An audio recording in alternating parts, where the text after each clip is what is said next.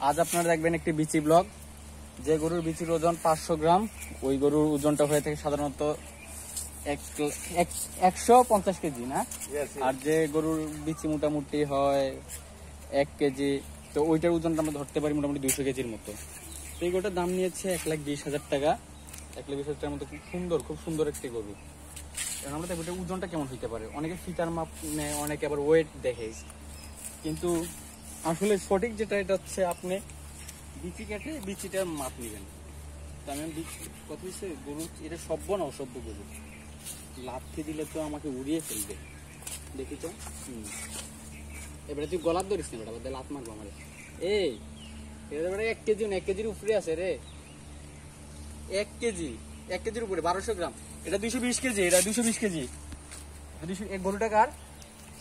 গরুটা কার? সলিমুল্লাহ হোসেনের। সলিমুল্লাহ হোসেন জিতছে জিতছে।